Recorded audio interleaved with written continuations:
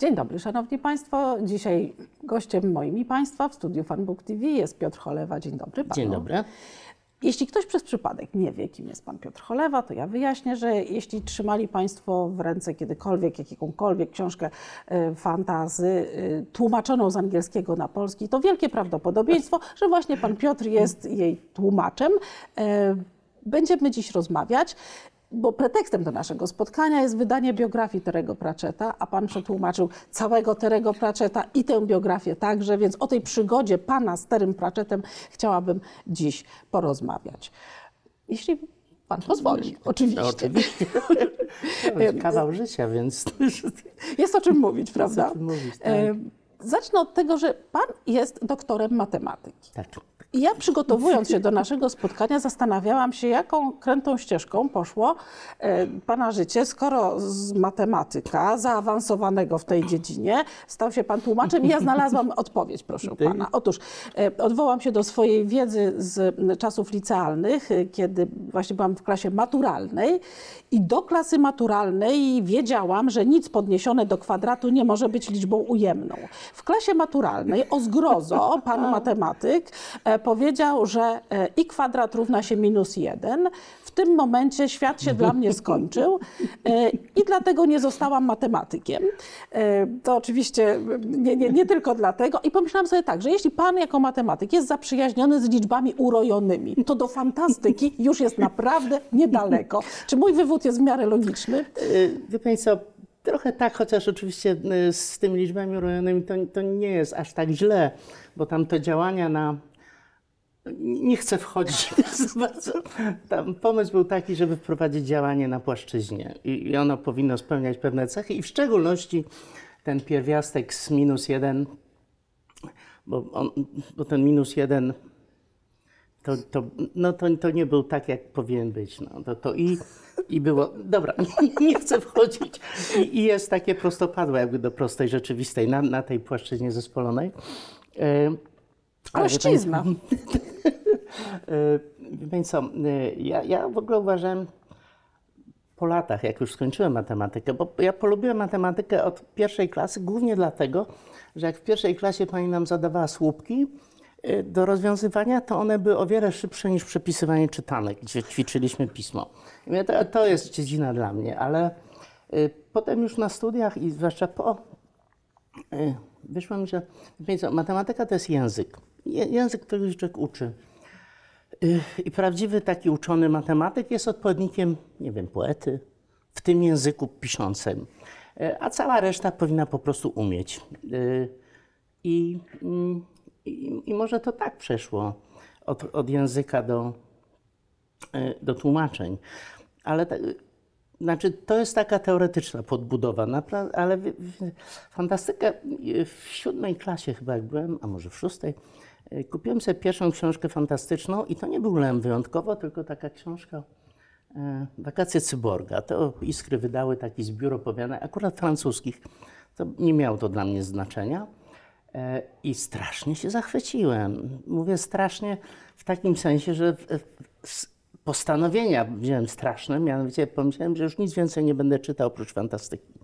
E, Nie udało mi się to, może i dobrze, zwłaszcza, że wtedy nie wychodziło za dużo tej fantastyki, E, ale wspominam te czasy dlatego, że one były, że byłem wtedy w stanie przeczytać wszystko, co było fantastyczne, mm, co wychodziło w Polsce. Wszystko.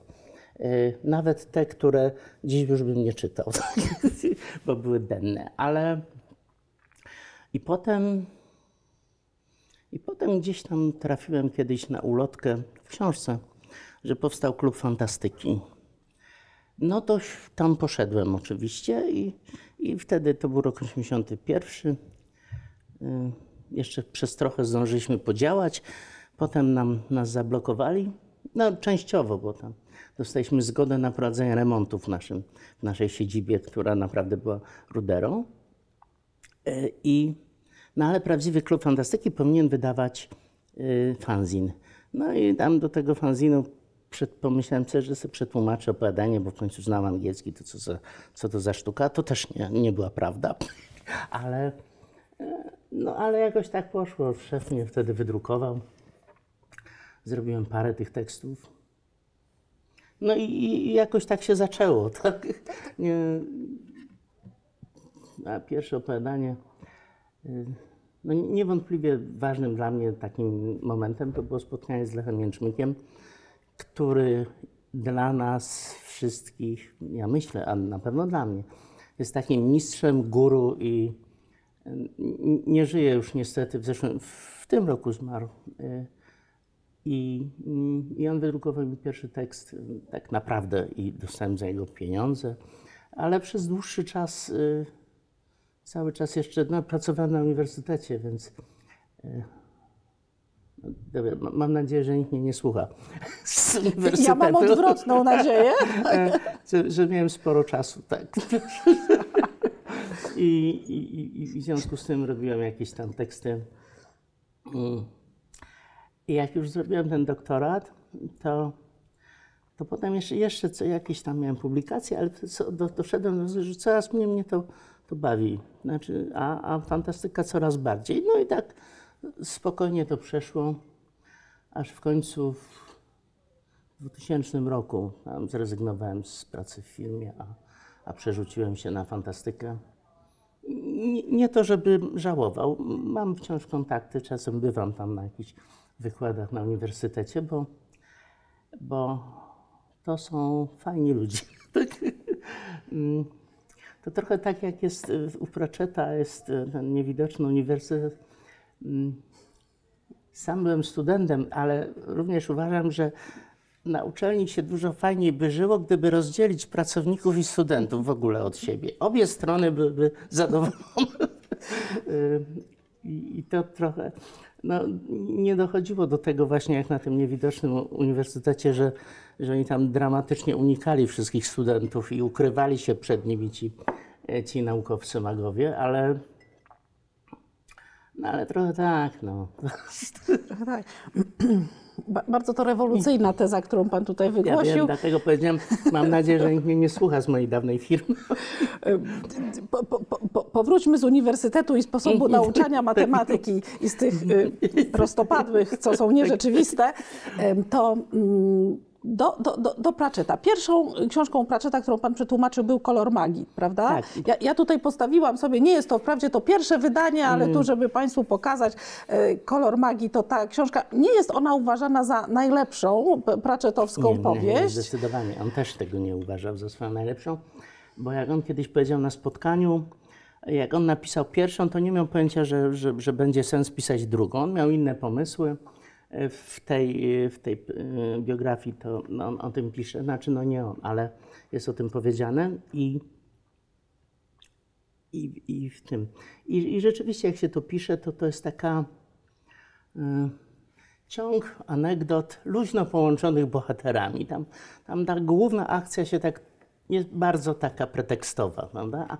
I są takie pojedyncze przygody. Natomiast y, no, widać już pewne pomysły, które, które Pratchett tam próbował wprowadzić, te jego nawiązania kulturowe, e, ci wszyscy bohaterowie, ta świątynia, w której oni są i które ewidentnie widać, e, że jest to jakaś taka tych starych bóstw od Cthulhu, a jednocześnie e, legendarne zdjęcie Rinswinda, który wyjątkowo robi to zdjęcie i oczywiście jak u każdego, widać głównie palucha w obiektywie. Ja już pomijam konstrukcję aparatów fotograficznych, bo to jest inna zupełnie historia. Y, widać, on jeszcze nie był tym Pratchettem, y, którym, którym się stał. Natomiast y, występuje tam Patrycjusz, który jest jedną z ważniejszych postaci i jest zupełnie inny. I, i to też kiedyś pytano, ja też pytałem Pratchetta, czy to jest inny partercjusz dlaczego on jest taki, nie, nie zupełnie taki jak potem, gdzie potem przecież wiadomo, że on jest takim typem, że, że Montesquieu mógłby się od niego uczyć, a, a przecież powiedział, to jest oczywiście ten sam Patrycjusz, tylko wtedy miał gorszego kronikarza. E, no więc trochę tak jest. Na, na, moment wrócę tu do, do Leszka Jęczmyka, bo on, to on mi go dał. Znaczy on, jak pani pamięta może albo nie, pierwszy ten kolor magii ukazał się w fantastyce w częściach. Pismo Fantastyka miało tak przez, przez dłuższy czas miało taki pomysł, żeby dawać powieści y, w, w częściach. W pierwszych numerach nawet można je było wyciąć i złożyć, co robiłem oczywiście. Y, Natomiast y, i wtedy ukazał się ten Pratchett w fantastyce i miał no, nieprawdopodobny oddźwięk, co jest o tyle. Wtedy to było trudniejsze niż teraz, bo, no bo ludzie pisali po prostu listy na papierze. No i pisali, że to genialne jest w ogóle. I, i wtedy Pruszyński i spółka, wydawnictwo zdecydowało się wydać to książkowo. Na tyle skutecznie, że, że potem poszło dalej. Myśmy mieli wtedy z 10 lat opóźnienia wobec, y, y, wobec tego, co, co się ukazywał. Pratchett miał nieprawdopodobne tempo y, w pisaniu na początku i, i wtedy mm, no, wydawca zdecydował, że żeby nie konkurować sam ze sobą, to, to, to się ograniczą do dwóch, trzech rocznie. I tak myśleliśmy, że dogonimy w końcu. Y, Dogoniliśmy, chociaż no, nikt nie sądził, że dlatego, że, że po prostu Terry zachoruje i, i po prostu zacznie wolniej pisać, ale, no, ale w każdym razie taki był plan. A czy, czy, czy, kiedy pierwszy raz zetknął się Pan z tym tekstem, bo mówi Pan, że czytelnicy przyjęli entuzjastycznie, ale Pan też miał, mówiąc współcześnie, efekt wow? Tak, zdecydowanie, tak, tak. Le- Leszek wtedy powiedział, wiesz co Piotr, weź to może, bo mnie to jakoś tak nie śmieszy. Co mnie zdumiało, ale mówię, no mnie śmieszy, dawaj. No i tak, tak się zaczęło. Także mm, mia- miałem taki efekt. Oczywiście widząc, ja to trochę traktowałem jak zbiór opowiadań. Znaczy te, on, te, te części mają nawet swoje tytuły jakby osobne.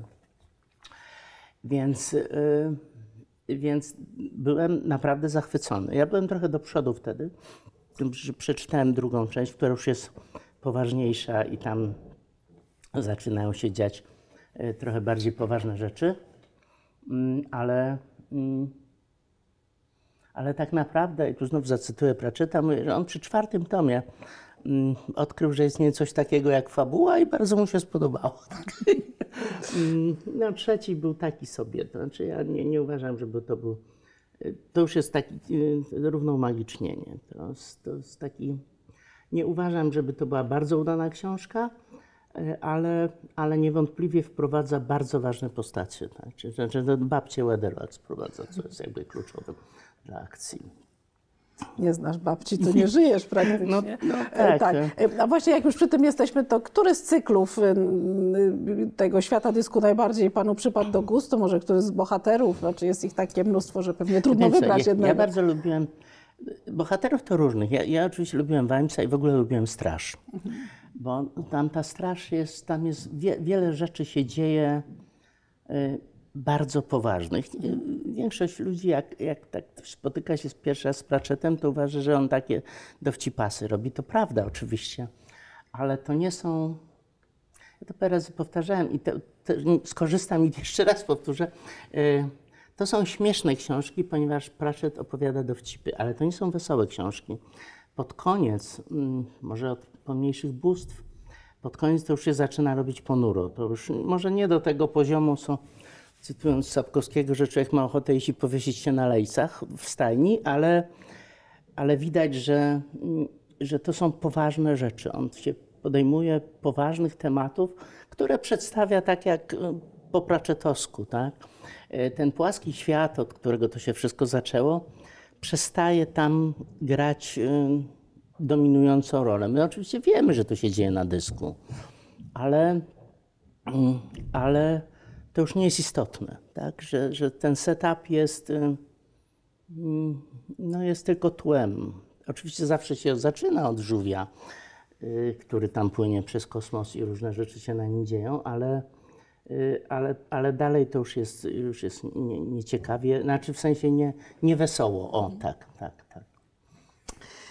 Y, Czy ta biografia, która się ukazała i którą Pan w całości przetłumaczył, to też solidne dzieło, e, solidne dzieło, e, odkryło przed Panem jakąś inną, in, inną twarz Pratchetta niż Pan znał wcześniej?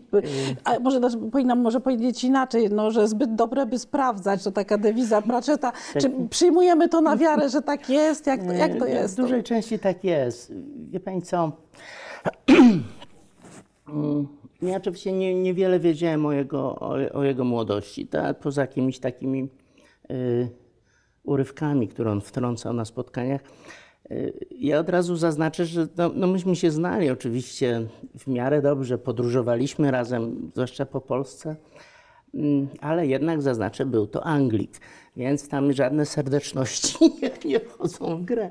Y, Natomiast on był ze zbliżonego pokolenia co ja, no, był trochę starszy, więc y, o tyle było mi przyjemnie z nim rozmawiać, że mniej więcej oglądaliśmy te same filmy, mieliśmy te same skojarzenia muzyczne, y, więc jakby łatwo nam było się dogadywać.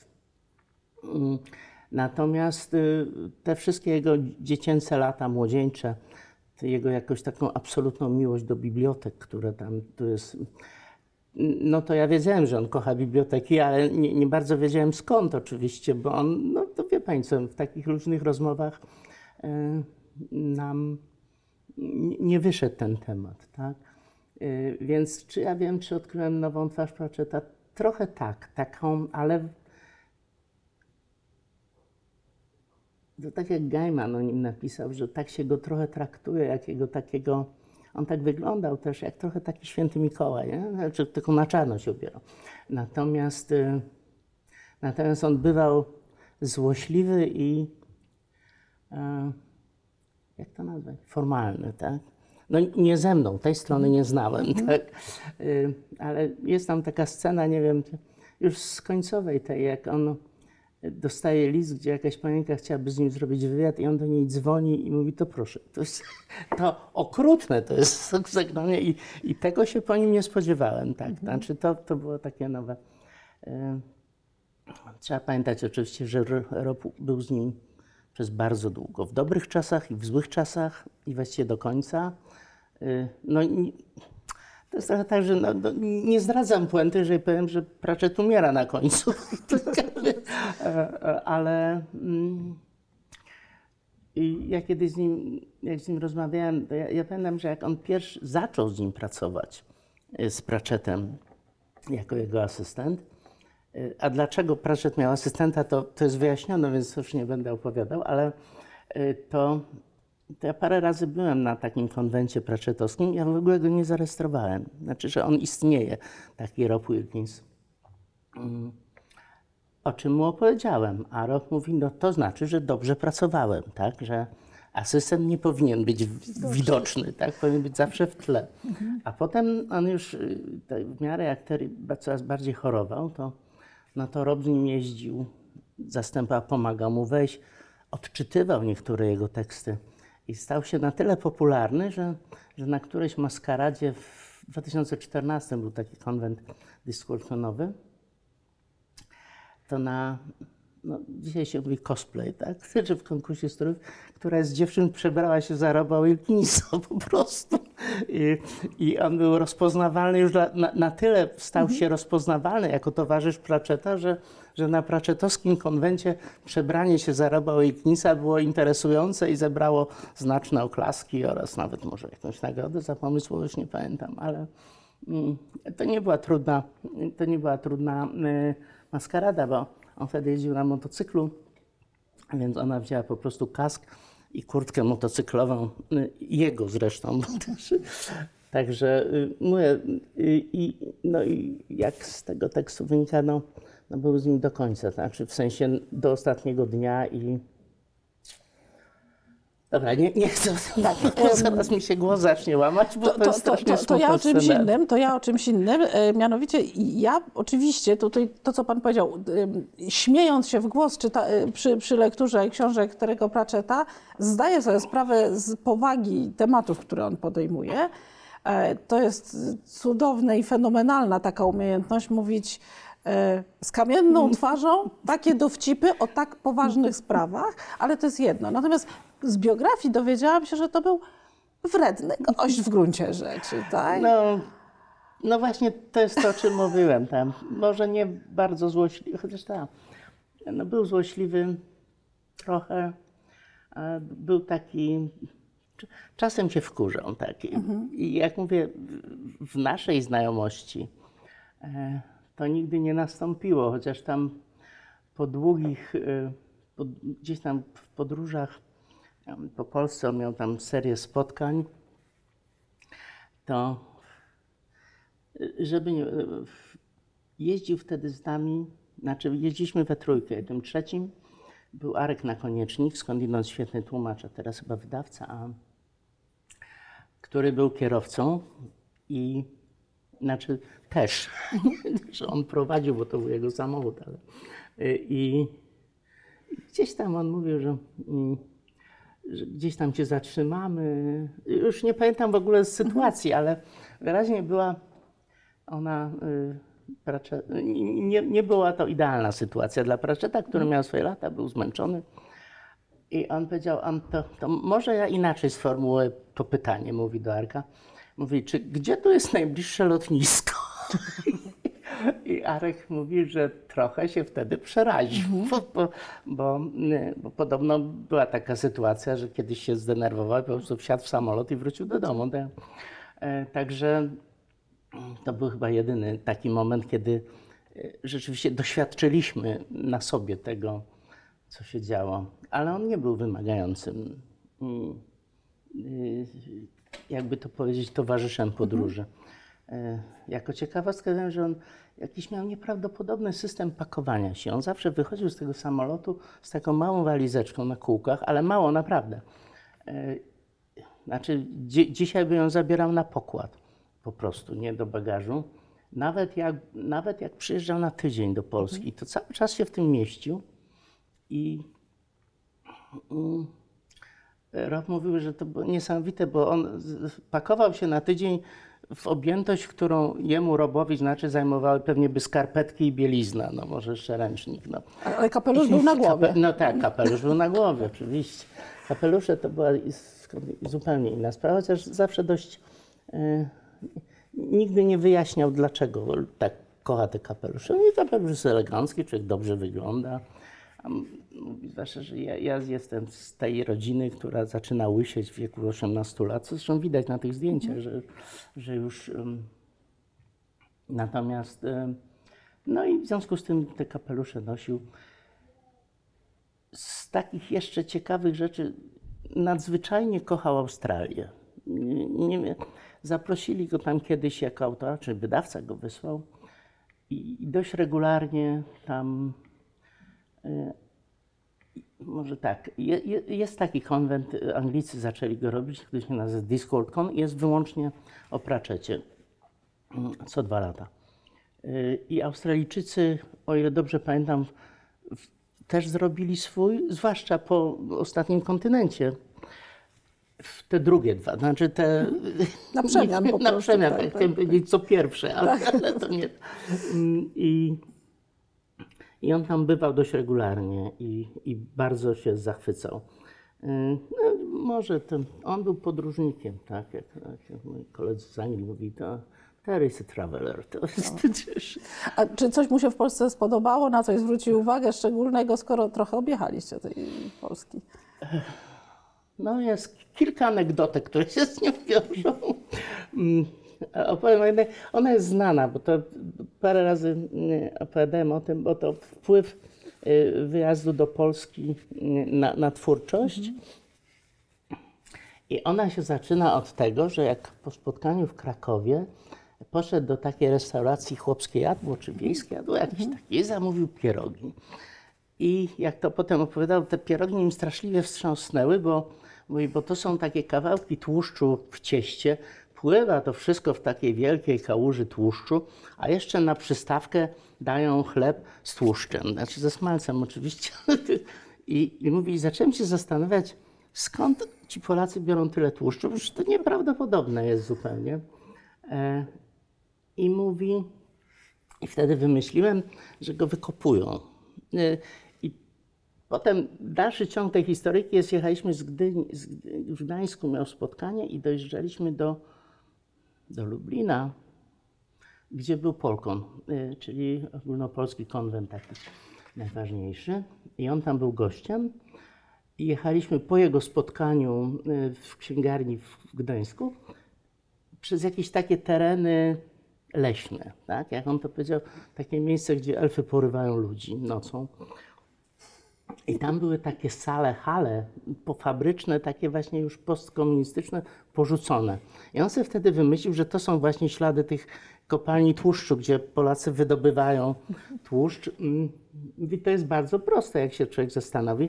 Jak przyszły lodowce i wyginęły dinozaury, to te, które się zakopały głęboko, to się zamieniły w ropę naftową, a te płytko no, zostały, czyli one były grube i tłuste i można je... I, i całe te story, w, w, nie w Carpe Jugulum, tylko to, co on do Iberwaldu wyjeżdża, no to tam jest właśnie kopalnie tłuszczu, to są z tego właśnie wzięte. Tak sobie Czyli one są w Polsce? One są w Polsce, one tak, w Polsce. tak, tak. On oczywiście tam je dopasował, żeby bardziej pasowały, ale tak.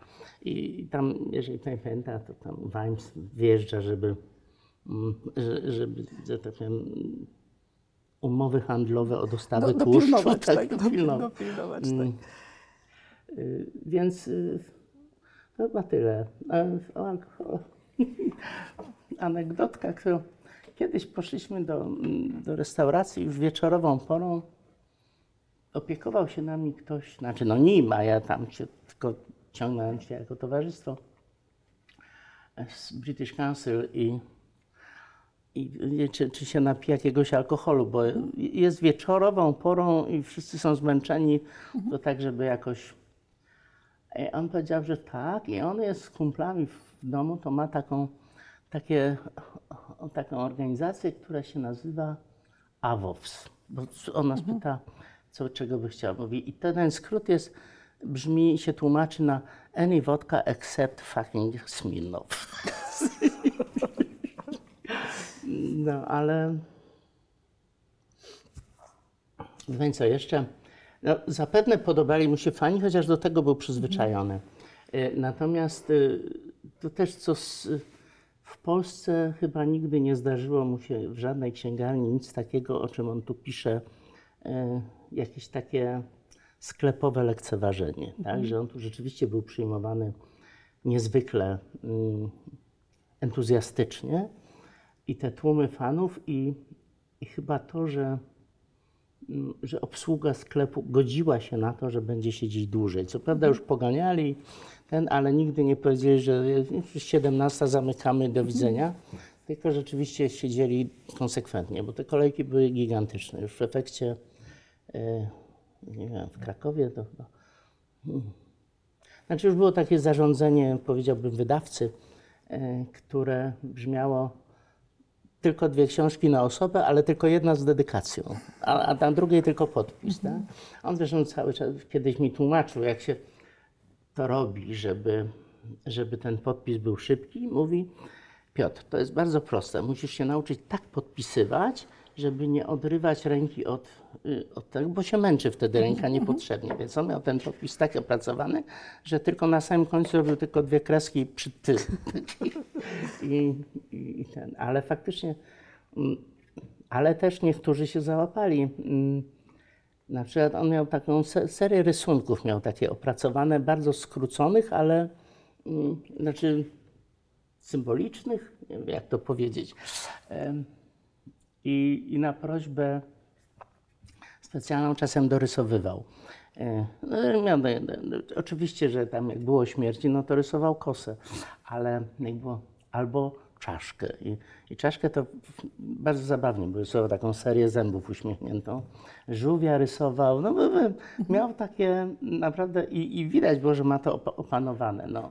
Y, potem, kiedy już mm, y, Rop o tym pisze, że już, już po prostu nie mógł, nie? To, to tylko, tylko stemplował, ale no to mam wrażenie, że tym, cen, tym cenniejsze są te, te, jego, te jego stemple. No. Ja chciałam do czegoś z początku tej biografii odwołać się, bo zapadła mi ta scena w pamięć, że e, pierwsze swoje kontakty z fantastyką e, Pratchett odbywał w sklepie, gdzie handlowano pornografią. I że ta pornografia była na górze, a, a te książki fantazy były gdzieś tam u stóp pani sprzedawczyni.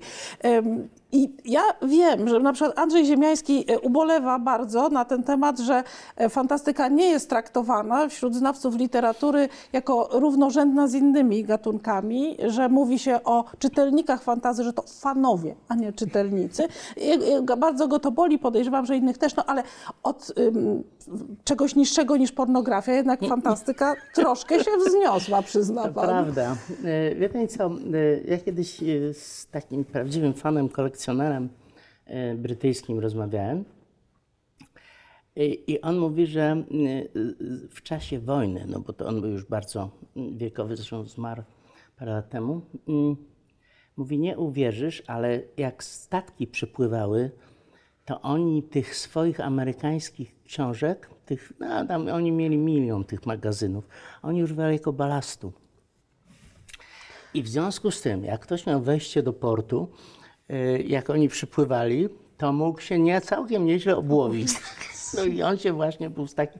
Ale to również pokazuje, jak była traktowana, tak? Ta pulpowa. y,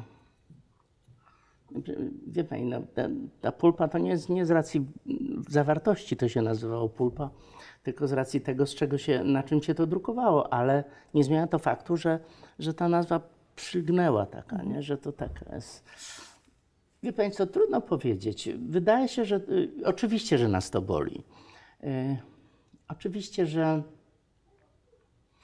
mm, jak to powiedzieć, no kiedyś kryminały takie były, tak?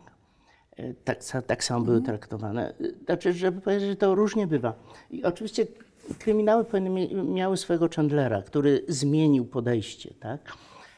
No ale fantastyka już miała wielu takich ludzi.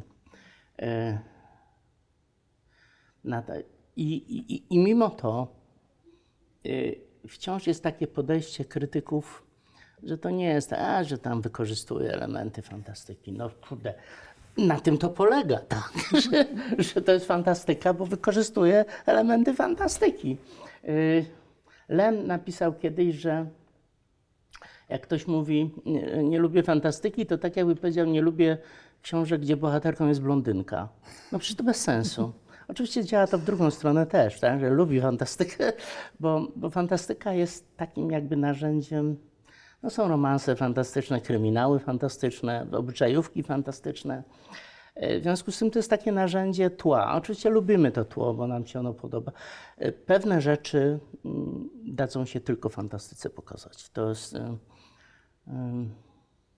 profesor wnuk Lipiński, też już nieżyjący. On zawsze odpowiadał, że, że on w tych książkach robił takie eksperymenty socjologiczne, y, których nie mógłby inaczej y, stworzyć, no bo nie stworzy wyspy, na której ten system jest opresyjny w ten sposób, tak? Że on sobie wymyślał i opisywał to w ten właśnie sposób. Mm, Natomiast, już nie pamiętam, kto zacytował, mm, to anegdotka jest całkiem ładna, że, że jak pierwsi Chińczycy, pierwsi y, delegaci z Europy dopłynęli do Chin, jeszcze nie handlowcy, ale już właściwie tam pierwsze kontakty, no i zademonstrowali im nasze dzieła literatury, a Chińczycy swoje, no to ci Chińczycy powiedzieli, a ta powieść realistyczna, ta, próbowaliśmy tego, ale tysiąc lat temu się okazało, że to bez sensu. Przesada. E, oczywiście mm, dlatego, y, wie pani co, no, z pewnych względów y, Olga Tokarczuk pisze fantastykę. Nie tylko, ale w dużej części to są fantastyczne teksty. Ciekawe, przepraszam, że wejdę w słowo, czy bardzo by się broniła, gdyby usłyszała to, co pan powiedział. E, Trudno powiedzieć. Oczywiście, że ona jest, to jest raczej traktowane jako realizm magiczny. Nie? Ale to jest, realizm magiczny, ja uważam, że to jest takie prywatnie, to jest podgatunek fantastyki, który po, po prostu e, e, pozwala jakoś tam krytykom uznać, że to nie jest prawdziwa fantastyka. E, Cortázar pisał realizm magiczny, ale nie, niektóre takie, w ogóle południowoamerykańska literatura miała mnóstwo takich właśnie tekstów, ale mm, no i to jest pewien taki system, który pozwala uznać, że może to nie jest do końca, y, że tak do końca nie wiadomo, czy, czy mu się to wydawało, czy, y, czy tak naprawdę było. No, ja mówię, ja uwielbiam Cortazara prywatnie zupełnie, więc tam jest sporo takich tekstów, tam Nocą twarzą do gwiazd, tam Południowa Autostrada, śliczne one są. Ciągłość parków, no. zwłaszcza w opowiadaniach, bo powieści to już nie są takie fajne.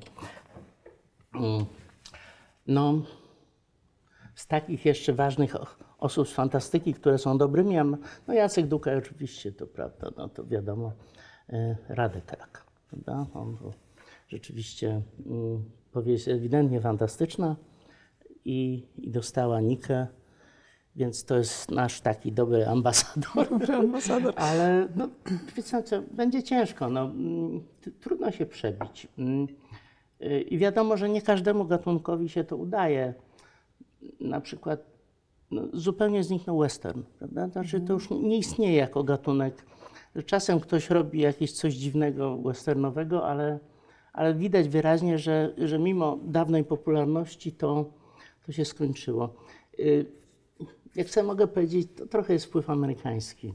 Oni to wydawali, no proszę zwrócić uwagę, że w Europie fantastykę to pisał Wells, Stapleton, to byli wybitni pisarze, a, a w Stanach te, te takie te śmieciowe, groszowe magazyny y, wychodziły w takich ilościach, że, że po prostu no nie chcę tego, ale no powiem, no, że trochę nam zepsuło opinię. Mm, niektóre były fatalne, to naprawdę. Zresztą te okładki zawsze z tym e, alienem, który porywa tę blondynkę z dużym biustem, to już w ogóle. Znaczy, wystarczyło spojrzeć na okładkę, żeby wymyśleć, co jest w środku. Czasem niesłusznie, ale, mm, no ale nie niesmak pozostał, jak w tym dowcipie niesmak pozostał. Na szczęście w Polsce mamy wielu wybitnych pisarzy y, z tego gatunku y, i mamy się kim pochwalić, ale jeszcze wróćmy na chwilę do Pratchetta. W biografii poznać możemy między innymi takie sformułowanie nie pozwólmy prawdzie stanąć na drodze dobrej opowieści, więc my też nie pozwólmy, absolutnie. Troszkę liznęliśmy tego tematu, ale co według Pana stanowi fenomen Terego Pratchetta? Hmm. Wie Pani co?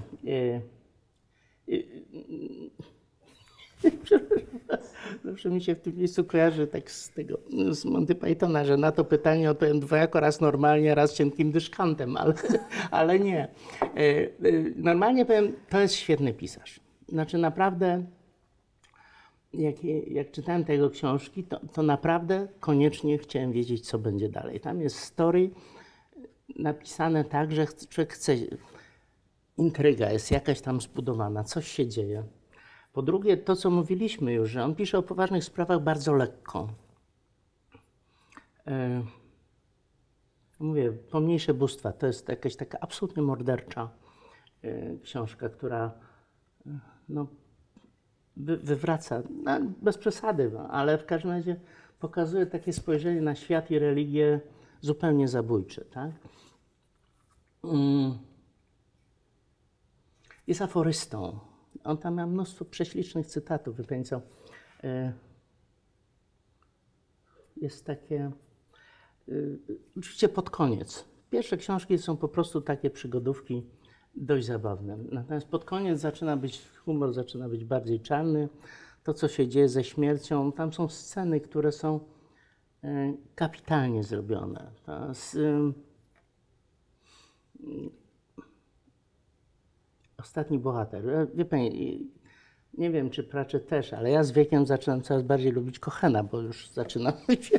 E, I w tej książce um, Ostatni bohater, gdzie to jest, um, w ogóle Kochen to jest o, o przemijaniu świata. Znaczy, to są, to jest częściowo odpowiedź na Pani pytanie. Bo mówię, bo to są bardzo zabawne historie. Ta, ta srebrna orda, która tam ma 500 lat, na spółkę 500 lat doświadczenia bojowego na siedmiu e, i, mm, i nazywa się Srebrna nie bez powodu, to, mm, to jest bardzo zabawne. Oni tam robią różne rzeczy, tam jak te Japonie podbijają w ciekawych czasach. No to też takie y, obyczaj, na spojrzenie na to obyczaje, jak oni mówią, tam do tego pałacu cesarza wchodzą, mówi, ale przecież to jest ściana z papieru. Dlaczego oni pilnują drzwi, jak można wejść przez ten papier? I, i parę takich bardzo zabawnych e, tekstów, że jeżeli naprzeciwko ciebie staje barbarzyńca, który ma 90 lat, zastanów się, jak dożył tego wieku. Tak, Ale z drugiej strony ma cudowne takie cytaty e, z, z Da Vinci. Się nazywa Da Quinci oczywiście nazywa. I wszyscy wiemy, że to, to hasło, które brzmi, gdyby Bóg chciał, żeby ludzie latali, to bym dał skrzydła. A, David, a mówi, gdyby Bóg nie chciał, żeby ludzie latali, to bym nie pokazał ptaków. To jest śliczny tekst mhm. po prostu. I tam on ma mnóstwo takich tekstów, takich wtrąconych zupełnie od niechcenia, powiedziałbym, tak? Jak on tam pyta, któryś z tych, tych ludzi pyta, dlaczego oni tych bogów tak nie lubią, a, a Kochen mówi, bo pozwolili nam się zestarzeć. To są mądre, filozoficzne, mądre po prostu teksty. Mówię, on jest niezłym aforystą. Wyszły te książki z jego cytatami i to są dalece nie wszystkie fajne cytaty z Pratchetta. E, a jednocześnie potrafi zrobić woltę taką, mm, no jest takie ładne, on gdzieś tam pisze, że człowiek nie odchodzi. Ten tekst jest w kilku miejscach się pojawia, czasem jest dłuższy, ale krótko mówiąc, e, nikt nie odchodzi naprawdę, dopóki jego imię jest wspominane. Tak?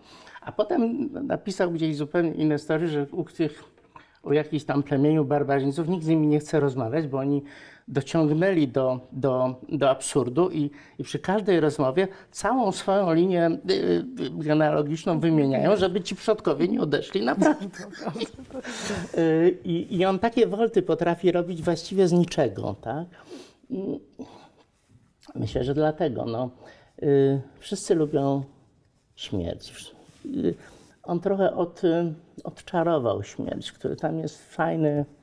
Mm, no, chcielibyśmy powiedzieć sympatyczny, oczywiście nie, ale też ma takie, mm, nie ma sprawiedliwości, jestem tylko ja, mówi, tak? Albo, ale też, żeby było zabawniej, mówi, nie jestem podatkami, przychodzę tylko raz. Y, I naprawdę mm, ale to wszystko nie, nie, liczyłoby się, gdyby to po prostu nie były fajne książki do czytania. Że po prostu to się przyjemnie czyta te książki. Tam się coś dzieje, tam one są sympatyczne. Ten marchewa jest zabawny, ale sam jego pomysł, który to jest tam dwumetrowy krasnolud, prawda? Mm, I mm, Weims, który jest takim e, wtrąconym on kiedyś, Pratchett kiedyś mówił, że on lubi takie osoby, lubi takich bohaterów, którzy są nie, niezdecydowani. I babcia Weatherwax jest taka, on, bo on, on, to jest dobry przykład, babcia Weatherwax na przykład zawsze by chciała być złą czarownicą, ale los zrządził, że jest dobra, ale nie chce, znaczy, i pokazuje, że nie chce, tak? Ona tam gdzieś, ona to mówi w którymś miejscu, że kiedy w wyprawie czarownic, kiedy tam wyrusza do tej swojej siostry, i gdybym to ja była złą czarownicą, to świat by zadrżał. A ona to... I, I to są takie powieści nie... Weims, który ma cały czas takie złe od, odpały. On, znaczy on by chciał tam wejść i zabić tych złych, tak? Nie robi tego tym, w tym cyklu o wojnie, gdzie on pokazuje, jak, jaki oni powinni być, mm, ta straż, bo tam jest ten Kolon y, i, i Nobi, którzy z, z przyczyn no, porządkowych muszą ochraniać demonstracje mniej więcej. Byśmy dziś powiedzieli Arabów, zresztą oni mówią to jest z, z głowy w ręcznika, oni ich nie lubią ale oni ich pilnują, ponieważ no taka jest praca, tak? Znaczy bronią ich jak muszą.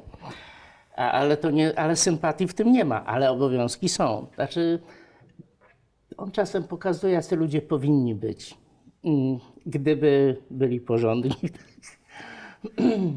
Może to. A myśli pan, bo tu mówi pan o tym, żeby, że nie pozwalamy przodkom odejść, tak? Więc e, jak długo będziemy czytać Pratchetta? My i nasi wstępni. Znaczy, na razie dzieciaki czytają, mhm. tak? Nie wiem, oczywiście to, wie pani co, to jest tak, że dopóki pojawiały się nowe książki, to ludzie czytali, wracali. Nie, nie ulega dla mnie wątpliwości, że ten, ta, to szaleństwo kiedyś minie. Czas się skończy. Nie wiem, ale myślę, że jeszcze z pokolenie przetrwa. tak? Spokojnie przetrwa. Y, Potem będzie dla, mm, no, dla smakoszy, dla koneserów, no może to za mocno powiedziane. No sama pani powiedziała, że co roku pani czyta y, trylogię. No to pewnie nadal będą tacy ludzie, którzy raz na jakiś czas po prostu Sięgną. wrócą do Pratchetta. Do Pratchetta się przyjemnie wraca. Znaczy człowiek coraz więcej wie, zresztą w młodości. E, widzi te filmy, zaczyna dostrzegać pewne aluzje, których nie, nie, nie dostrzegał wcześniej. E, scena z, więc, no, w tych ruchomych obrazkach o kinie, gdzie tam jest mnóstwo takich nawiązań, których człowiek nie widzi, jak nie widział tych filmów. No ale z czasem je ogląda, bo to klasyka. I nagle zaczyna widzieć, dlaczego, do czego aluzją jest wielka baba z małpą w ręku, która się wspina na wieżę, tak? A jeszcze zamiast samolotu tam rektor na, na miotle, tak? Y, I, i, także je, jestem optymistą, chociaż nie, nie, nie jakimś takim hura optymistą. Zdaję sobie sprawę, że to kiedyś mi- minie. Znaczy, przynajmniej w takiej fali y, masowego czytelnictwa. No ale to takie życie jest, wie pani, no teraz tak jak Twen, nie? Kiedyś wszyscy czytali Twena. E, A teraz, no teraz się czasem czytuje Twena, tak? To jest, nie, nie wiem, być, nawet chyba już nie jest lekturą. więc Chyba nie, chyba nie jest. Pratchett nigdy nie był lekturą. Nie nie A, a szkoda, tak bym powiedziała. Szkoda, tak, szkoda. Po, poznanie takiej literatury, która po prostu e, uczy bawiąc w sposób najlepszy z możliwych, e, byłoby chyba kształcące dla młodych. Wie pani tak, bo y, ja zresztą pa, paru rzeczy nie rozumiem. Mm, Na przykład z Lema do, do, do szkół trafiły chyba bajki robotów, nie wiem, czy Cyberiada. E, I one nie spodobały się. I to widać wyraźnie, że znam osoby już dorosłe, które mówią, że strasznie przecierpiały ten. Z drugiej strony mój syn, jak miał 6-7 lat, dopiero się nauczył czytać, jak przeczytał Cyberiadę, to przeczytałem jeszcze cztery razy, bo uznał, że, a może i pięć, no bo stwierdził, że książka jest dobra, więc można do niej wracać, bo on, co on będzie się narażał na złą książkę, kiedy ta już jest sprawdzona. I on to robi jako siedmiolatek, czy sześcio już. Więc y, różne są reakcye. Y, Z drugiej strony dobór lektur no dobra, no to nie chcę się wymądrzać, ale, ale to jest oczywiście tak, że, że się mm, na, na te lektury daje książki, które są ważne, a niekoniecznie y, fajne w czytaniu. Tak? Y, ja to rozumiem, nie jest to łatwe dobrać. Z drugiej strony też trudno sobie wyobrazić wykształconego człowieka, który na przykład nie zna Szekspira, chociaż on nie jest już teraz taki łatwy w czytaniu. Tak?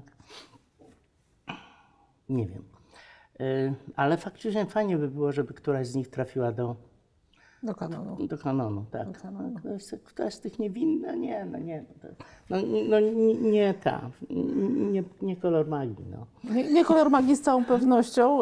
Ja przyznam, że jestem wielką fanką tych, tej, tej, tej części świata dysku, która mówi o czarownicach. Y, No właśnie. Nie wiem, czy tu płeć ma znaczenie, y, ale O, babcia jest niesamowita. babcia jest niesamowita. Y, nie- Nianie też lubię. Nianie też lubię. A, a, a propos takich sformułowań, którymi po prostu Pratchett żongluje i wyciąga je z tego swojego czarnego kapelusza, jak, jak magik królika. To jest taka scena, w której Vimes jest już żonaty e, i żona wymaga czegoś tam od niego, co on się cały w środku gotuje przeciwko tym e, żoninym wymaganiom i jest tam takie sformułowanie, zrobił to, co powinien, dynamicznie nie zrobił nic. Dynamicznie nie zrobił nic. Zacytowałam to czym prędzej mojemu mężowi, udawał, że nie rozumie cienkiej aluzji. I właśnie Pratchett, Pratchett taki jest. E, uczy życia, tak bym powiedziała, uczy E, życia. Ale niech pani też weźmie pod uwagę, e, jakie to jest dobre małżeństwo. Znaczy, tam, jest, tam jest wtrącona zupełnie scena, że e, Lady Rankin naprawia e, Wamsowi skarpetki, bo uważa, że to jest obowiązek żony, żeby. A on je nosi, chociaż są niewygodne, bo uważa, że jak już żona się poświęca dla niego, to on będzie to robił. Wzruszające i, i strasznie sympatyczne. Oczywiście wszystko się zmienia, jak się tam ten młody pojawia, ale. E, Więc. A babcia Babcia ma niektóre mo- mordercze. Nie wiem, czy pani pamięta w Carpe Jugulum, ona ma takie... Tam jest taka cała... Dobra, naj, najwyżej nie, nie chcę opowiadać, ale... Pewnie, że nie. O scen, o, o, ale dla przypomnienia o historii, o których nikomu się nie opowiada. Ona tam wraca z tego nieudanego porodu i myśli o, o historiach, o których nikomu się nie opowiada. I to są takie historie. Nie, nie chcę mówić jakie, ale To są takie historie i to jest dobre podsumowanie naszej rozmowy, za którą bardzo panu dziękuję. E, Szanowni Państwo, no cóż tu dużo powiedzieć. No, e, jeśli czytają Państwo Pratchetta, no to, to jasna sprawa, to czysta a, a przyjemność. jak nie, to proszę zacząć. A właśnie, a jak nie, to jest to kawał dobrej literatury i bardzo zazdroszczę Państwu, że będą ją Państwo czytali po raz pierwszy, bo to fantastyczna sytuacja. Dziękuję Panu Dziękuję serdecznie. bardzo.